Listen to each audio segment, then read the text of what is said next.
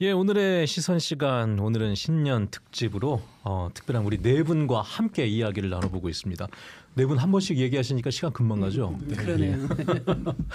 자, 1부에서는 지난 한 해를 좀 돌아봤다면 그리고 돌아보면 성토도 많이 하셨습니다만은 2부에서는 미래 얘기 좀 해볼까 합니다. 가까운 미래죠.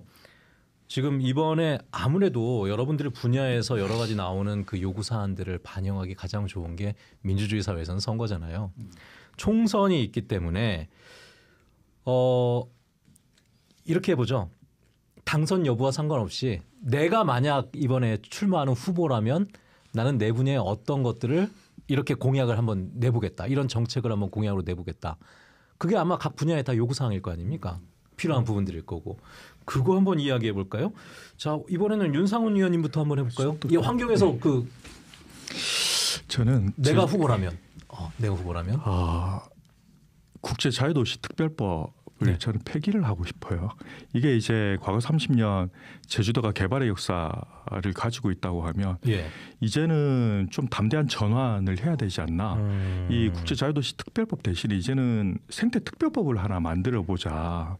이게 음 최근에 기후 위기에 따른 여러 변화들은 사실은 이게 자연만의 문제가 아니고 예. 인권 이야기를 하셨는데 이게 인권의 불평등의 문제이기도 하고 음. 제주가 앞서 기후 위기에 지금 맨 앞에 있는 상황이라서 실제 자연과 인간이 공존할 수 있는 어떤 담대한 전환을 이룰 수 있는 생태 특별법을 가지고 한번 만들어 보자. 거기에 따라서 제주 도정 내에도 어, 기후 위기를 대응할 수 있는 국 단위의 일종 부서를 만들고 예, 예. 아까 해양산업과 해양생태과를 예를 들면 전환하고 인력 예산 배정을 하고 해양보호구역 지금 제주도가 0.15%인데 예, 잠깐만 이거 국회의원 선거입니다. 저 도지사 선거 아니고 어쨌거나 확대하고 예, 예. 뭐 그런 정책들을 좀 해야 어. 되지 않는가 기본적인 관점의 전환이 좀 필요하다 예. 이런 생각이 좀 듭니다.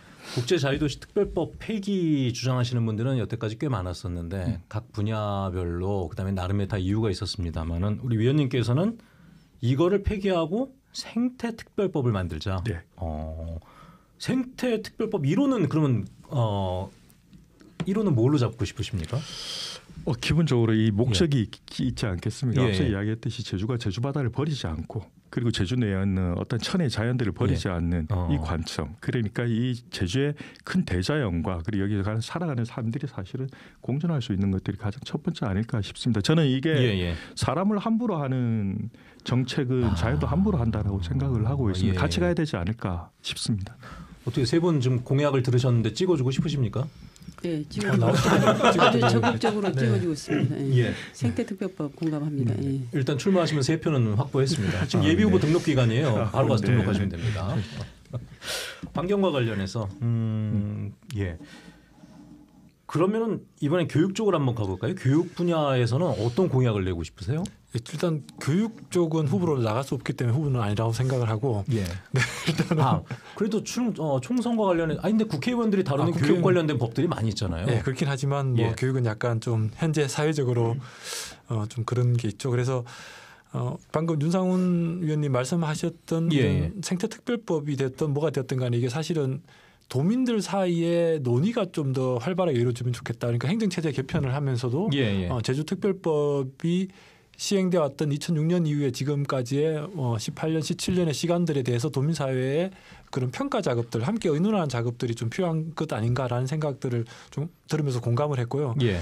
그리고 어, 국회의원 선거에서 좀 이게 교육감 선거에서는 다루기가 힘들더라고요. 그 국회의원 선거에 좀 다뤘으면 좋겠다 싶은 건 제주 지역이 지금 전면 평준화가 아니거든요. 아 예, 그렇죠. 네, 엄면 지역은 비평준화되어 있습니다. 그래서 어, 전국의 제주뿐이 아니라 전국의 예. 그뭐 시 군 군 단위들은 다 또 평준화가 안 돼 있습니다. 그래서 예. 어, 고등학교를 전면 전국적으로 전면 평준화를 했으면 좋겠다라는 것을 좀 생각 첫 번째 공약으로 생각을 하고 있고요. 어.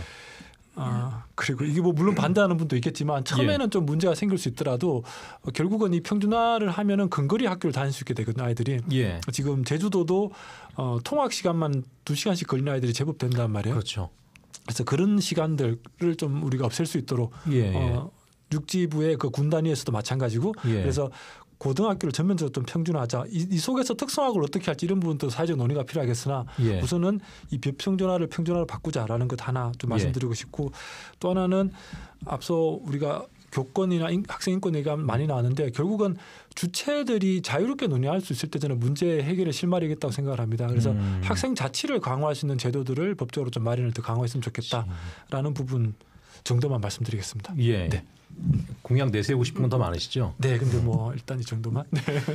고교 평준화 문제는 지금 제주도가 말씀하셨던 대로 어, 읍면 지역은 지금 비평준화 비평준화죠. 지역이고 좀 굉장히 장거리 통학하는 친구들도 많이 있습니다. 그리고 네. 이게 나름의 좀 애매한 서열들을 만들어내는 게 좀 있어서 네. 이게 문제이긴 한데 전면 평준화는 제가 갑자기 전면 평준화 들으면서 떠오르는 이름이 전두광이거든요. 그 당시에 평준화를 정말 실현했던 사람이 맞습니다. 전두환이었습니다. 물론 폭력적인 방법으로 실현을 했었는데, 음. 야, 근데 이게 가능할까라는 생각이 들면서도 나머지 세 분께서는 지금의 이저 소장님의 공약을 들으면, 아, 이사장님의 그 공약을 들으면서 좀 뽑아주고 싶은 생각 들으셨습니까? 당신의 뭐 어, 나오면 아, 실현 가능성을 별로 안 높게 안 보시는 것 같아요, 그러니까 지금. 아, 그러니까 아까랑 분위기 완전 다른데요. 네. 예. 야, 이 분위기로 알 수 있군요. 여기서. 네. 아니, 근데 어쨌거나 교육 관련해서 저는 그 생각은 들어요. 이제 이사님 얘기 들으면서 아이들이 마음속으로부터 어릴 때부터 차별받는 느낌은 좀 안 들었으면 좋겠다라는 생각은 들었습니다. 이 공약의 실현 여부와 관계 없이도 그런 것들은 좀 앞으로 풀어가야 될 숙제가 아닌가라는 생각이 들었고요. 알겠습니다. 자, 그럼 김란용 소장님은 만약에 내가 이번에 국회의원 후보다 어떤 공약을 내고 싶으세요? 지금 그 우리 안재용 이사장님하고 저희가 어 채식하기 좋은 조례, 그 채식하기 좋은 제주 조례를 예. 지금 저희가 그 기초안을 마련해서 어 준비 중에 있는데요. 아, 이게 참고로 두 분께서는 예, 우리가 예. 흔히 얘기하는 비건이십니다. 아, 네. 예, 비건입니다. 그래서 여러 가지 이유에서 비건을 하는데 예, 어, 이제 기후위기나 뭐 동물권 때문에 저희가 하게 되는데요. 예, 그래서 예. 이그 채식하기 좋은 조례를 제주 조례를 저희가 준비를 하면서 예. 뭐 제가 국회의원이 된다면은 정말 비건하기 좋은 그 시스템을 구축을 하고 싶다. 그 아. 이유는 아까 생태 그 특별법도 말씀하셨지만 예. 우리 저희가 자꾸 어 생태를 얘기하고 그리고 기후 위기를 얘기하고 갯녹음 아까 말씀하셨던 부분도 음. 얘기하고 인권을 얘기하면서 본질적으로 좀 들어가야 될 부분들은 자꾸 이제 비껴가는 측면이 있어요. 사실은 예. 그래서 거기 핵심적인 게 우리가 어, 이 인간 어떤 시스템에서 그 철저하게 인간, 인간 중심적인 어떤 시스템에서 예. 소외되고 있는 어떤 동물들의 삶이거든요. 그리고 거기서 또 핵심적인 게 어, 공장식 축산 문제들이 음. 지금 너무나 이제 이 환경 오염에 주범이 되고 있고 토양 예, 예. 오염이라든지 그리고 뭐 갯녹음에 저희 절대적인 영향을 미칠 거 있다라고 저는 생각하고 있고요. 그러면 우리가 식대 식생활을 전환을 해야 될 필요가 있다라는 거죠. 그래서 어, 그런 것들이 또 아까 이산화탄소도 말씀하셨지만 메탄이 어떤 단기성 어떤 온실가스도 이 축산업에서 발생하는 측면이 아주 큰 부분이 있기 때문에 예, 예.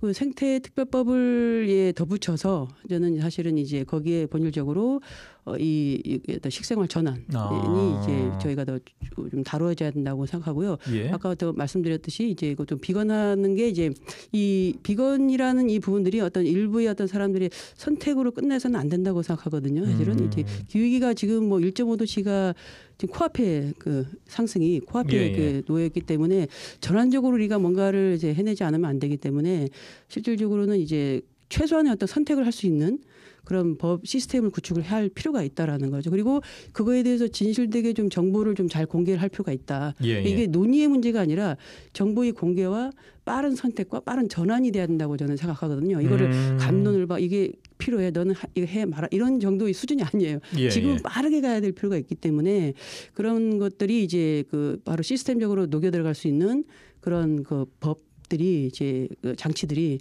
돼야 된다고 생각합니다. 그래서 한마디로 예. 말씀을 드리자면 예. 생태특별법 안에 이제와 더불어서 어 비건하기 좋은 그런 그 특별법 예. 법이 제정되길 바랍니다. 예. 어, 지금 일단 그 소장님과 이사장님은 조례를 준비를 하고 계신 겁니까? 발의가 준비를. 예, 준비하고 안을 있죠. 만들고 예, 안은 있는 지금. 초안은 거의 이제 예, 예. 안재용 이사장님께서 지금 초안 다 예. 만드셨고요. 예. 두 분이 도의원은 아니시기 때문에 그렇죠. 예. 어, 그러니까 조례 만드는 걸 같이 작업을 하고 계신다는 예, 예, 말씀이시죠? 예, 예. 거기에 동의하시는 도 의원 분께서 계시는 거고. 예, 이제 찾아내야죠. 이제 아 잠깐만 누구 아 찾지 못하고 지금 시작하신 아 겁니까? 저희가 지금 채식 채식급식 조례를 또 제정한 그런 예, 예. 사례가 있기 때문에 음. 그것도 이제 시대에 맞게끔 잘 이제 호응을 해주실 거라고 생각하고 있습니다. 예. 제가 들으면서 공감됐던 것 중에 하나가 저희 가끔 이제 접하는 뉴스가 뭐냐면은 어 물론 이제 이거는 사람이 선택의 문제긴 합니다. 이제 내가 채식주의자가 될 것인지 아닌지 뭐 그거는 네, 이제 네, 선택을 하면 되는 건데 채식을 하기로 마음 먹은 사람들이 채식하기가 너무 힘든 환경이 맞- 우리 사회라는 맞습니다. 거잖아요. 예, 예. 학교 급식에서도 이거 선택할 자유가 거의 없고 그다음에 뭐 어디 회사 가서 뭐 이렇게 그, 어, 밥을 먹더라도 이런 회식을 것들도 하더라도. 힘들고 음. 이런 것들을 제대로 좀 보장할 수 있도록 국회에서 법을 한번 만들어줬으면 좋겠다. 네. 네. 나는 이걸 공약으로 내걸고 싶다. 아, 예, 이것도 굉장히 좀 의미 있는 법인데 신광엽 소장님은 좀 동의를 잘 못하시는 것 같아가지고 아, 아니요 아니요 왜, 왜, 왜 동의를 못하는 아, 채식주의자가 아니셔서 아 아닙니다. 아 공감이라고 하겠습니다. 그 환경에 대한 고민들은 사실 굉장히 많이 하고 있고요 예, 예. 실제로 그래서 아까 그 파란 소장님 얘기하실 때 그 실제로 제주 인권 포럼에서 이 환경과 인권이 어떻게 만날 수 있을까 만나는 음. 지점이 뭘까에 대해서 실제로 기획도 해보고 제주도 내 환경 단체랑 같이 얘기도 해보고 있습니다. 근데 예, 그 얘기는 이제 자, 자세하게 하기는 그렇는데 어쨌든 환경은 인간의 삶을 구성하고 있고 삶을 이제 풍요하게 만들어주는 예, 예. 아주 핵심적인 그런 부분으로 보기 때문에 음. 이거에 대한 관심도 놓치지 않고 있고요. 사실 제가 기후 위기에 따른 인권 침해 실태 조사도 제주도를 조사를 해봤기 때문에 예, 거기에 예. 대한 밀접한 관계는 충분히 관심을 갖고 지켜보고 있습니다. 그네 분이 사실 다루시는 주제가 저는 다 따로따로 떨어져 있다는 생각은 안 들어요. 다 우리가 생활에서 인, 어, 인간의 생활에서 다 연결이 되어 있는 부분들이지. 네, 네, 알겠습니다. 그 어, 식생활을 전환할 수 있도록 도와줄 수 있는 법률을 어, 발의하고 싶다. 그것을 공약으로 내세우고 싶다라는 말씀이셨고, 음, 알겠습니다. 자 이번에는 인권 쪽으로 한번 넘어가 보죠. 소장님께서는 인권 관련해서 내가 출마를 하겠다. 공약을 내선다면은 어떤 거 내고 싶으세요? 뭐 그럴 일은 없겠을 것 같고요. 충분히 가능하실 것 같습니다. 2023년 1월 달에 제가 처음으로 그 인권 관련 칼럼을 썼습니다. 그 칼럼의 주제가 뭐였었냐면 그 제주도의 평화를 빕니다. 이런 주제였거든요. 예. 그 평화 그때 그 칼럼 내용이 뭐냐면 제주도를 그 평화 비핵지대 선언으로 만들었으면 좋겠다. 여기에서는 이제 생태 평화, 인간들의 삶의 평화, 그 다음에 군사 이제 전쟁 없는 평화, 예, 뭐 예. 이것 다 들어갑니다. 그래서 올, 자, 올 작년에 내내 준비를 해서 실제로 이 평화 관련해서는 그 제주도 내 굉장히 큰 어르신들하고 실제적으로 준비를 해서 초안도 어느 정도 만들어가 음. 만들어져 있는 상황입니다. 그래서 예. 이제 이걸 확산하고 운동하면 올해 정도쯤이면은 그 최대한 어쨌든 제주도에서 그래도 명망에 있을 문제를 선언들은 나오지 않을까라는 생각이 들고 음. 그 부분이 저는 아까 이제 제가 아까 표정이 약간 무덤덤해서 그런 것 같은데 생태법인 그 법, 저도 이제 특별법에 대해서는 폐지 의견을 갖고 있고요. 아 예. 예, 그거 생태법으로 바꾸는 것에도 충분히 동의가 되는데 제가 가지고 있는 어떤 평화 비핵지대 선언이라든지 그것들이 이제 법으로 발현되면 음. 어쨌든 당연하게 생태 평화 부분으로 들어, 들어올 수 있을 것 같습니다. 아까 얘기했지만 인간과 자연의 삶에 예. 대해서는 그게 그 벗어날 수가 없으니까요. 그리고 당면한 과제로 지금 현재 그 선거 국면에서는 저는 지금 전 세계가 다 가지고 있고 우리나라 예, 예. 가지고 있는 핵심적인 이슈가 뭐냐면 양극화입니다. 아, 양극화는 게 따르게 얘기해 보면 다른 존재를 인정하지 않는 거죠. 예. 그리고 다른 존재들과의 대립 과정을 통해서 나의 정당함이라든지 옳음을 이제 강제하려고 하는 폭력성을 띈다라는 겁니다.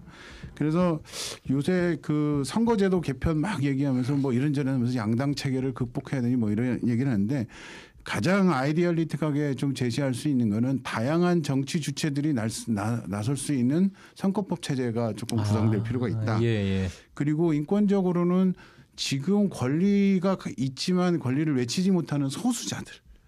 이게 다양한 사람들이 있죠. 그러니까 여성, 학생, 음. 뭐 성소수자 뭐 이런 부분들이 있는데 이런 부분들에 대한 어떤 어, 나름대로 사회에서의 존재부터 좀 인정해 나가는 과정들. 예, 예. 그리고 그런 것들을 실천하거나 그거를 베이스로 만들어 줄 수 있는 인권에 관한 기본법을 만들어야 되겠다.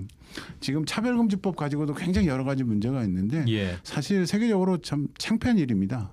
그러니까 차별과 혐오에 대한 아, 가장 기본적인 법률조차도 못 가지고 있는 음. 나라가 몇 안 되거든요.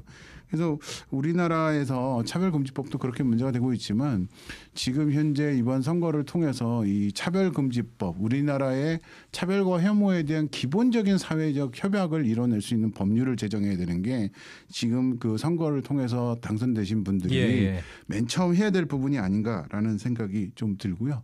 한 가지 조금 덧붙이면 예. 시민사회가 그 의견을 참고하는 주체로만 자꾸 돼 있어요. 우리가 뭔 자문을 얻는다든지 예, 의견 참- 예. 그게 아니라 시민사회 참여가 그 민주주의의 한 과정으로 명확하게 자리를 잡고 인정돼야 된다. 그래서 음. 시민이 직접 정치를 다 할 수는 없지만 그래도 직접적으로 개입할 수 있는 공간과 여지를 예. 많이 열어줘야 된다. 그래서 그래서는 그러기 위해서는 아까 알, 알 권리 정보권이 예, 예. 확보해야 되게 되겠죠. 아무튼 그런 것들이 지금 선거를 보면서 제가 바라고 있는 사항입니다. 알겠습니다. 예. 지금 마지막 말씀 잘해주셨는데 사실 제가 이제 그 내가 국회의원이면 이런 공약을 내겠다라는 그 질문을 드렸던 이유가 이 시기에는 항상 그 시민사회 단체들에서 정책 질의를 많이 하죠. 총선을 앞두고는 선거를 앞두고는 그리고 어 이런 것들이 좀 공약에 반영됐으면 좋겠다라고 의견서를 보내고 좀 뜻이 맞는 후보들에게 그런 요구서들을 많이 보내시지 않습니까? 다들 아마 보내보셨던 경험들이 있으실 것 같은데 근데 말씀들 들어보니까 잘 안 받아들여지는 모양이죠. 아, 왜, 왜, 왜 이렇게 안 한숨을 쉬었습니까, 의원님? 네, 뭐 저 녹색연합에서 한 20년 일을 예, 예. 했고 또 제주 서귀포에 작년에 해양시민과학센터 파란 창립했는데 예. 어, 과거 20년이나 지금이나 이야기하는 것들이 거의 내용이 변함이 없어서 실제 이게 정책 변화까지 이끌기가 굉장히 지난한 시간이 음. 들고 실제 정치권에서는 어 뭐랄까 돈이 안 된다고 보는 예, 예. 예, 그들 입장에서 굉장히 사소하고 쓸모없는 존재라고 다들 제주 바다가 그런 식이죠. 그런 식으로 다 치부해 버리는 음. 이런 관행들이 여전히 지속되고 있어서 참 변화가 힘들다. 예. 그래도 예전보다는 조금 나아지지 않았습니까? 왜냐하면 기후 변화 같은 거는 이제 우리 어 그냥 피부에 와닿는 현실이 되어 버렸는데. 이 기후위기는 절체절명의 과제 아니겠습니까? 이게 생존의 과제이기 때문에 이게 또 모든 정책의 대전제인 거고 예, 예. 단박에 바꿀 필요가 있지 않을까라는 음. 생각이 듭니다. 말을 타던 시대에서 자동차를 타던 시기로 딱 바뀌듯이 이게 한 순간에 어떤 예. 변화가 필요하지 않나 저는 생각을 합니다. 다른 분들도 비슷하세요? 그 정책 질의서나 의견서를 보냈을 때 이 반영되는 비율이 좀 적습니까? 각 분야에서 어떠세요? 아까 뭐 과, 소장님, 과소통 말씀하셨는데 저는 소통을 해본 적이 없어서 사실은 여러 번 어떤 소통을 시도를 했었는데 예.